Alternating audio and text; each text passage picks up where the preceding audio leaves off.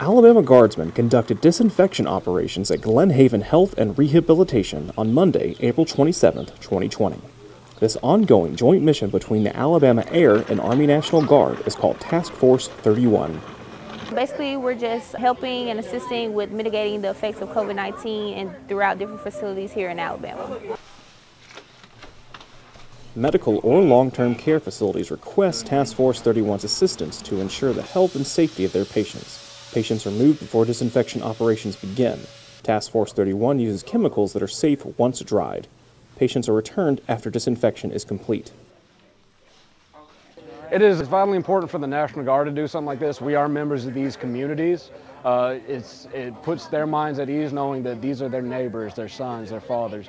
This is an ongoing operation and will continue until the mission is no longer necessary. I'm Army Sergeant Jaccob Hearn, reporting with the 131st Mobile Public Affairs Detachment